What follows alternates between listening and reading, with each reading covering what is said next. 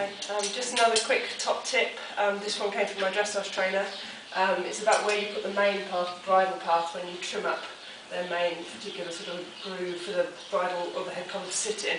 Um, he's adamant that you should never do it where they're actually going to sit. You could either do it before or after it, so that the bridle or the fabric of the head collar is sitting on smooth um, not on the stubble, because he thinks the stubble actually pushes down onto the nerves there, because obviously there's a sort of nerve centre there.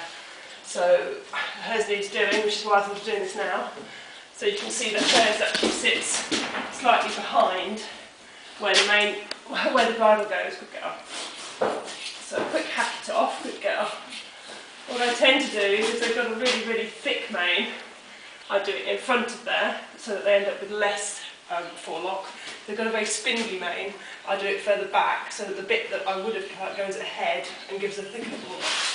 So it's still very tidy and it still shows you where it's going to go, but it's smooth underneath where you get the pull down of the bridle and collar. That's it.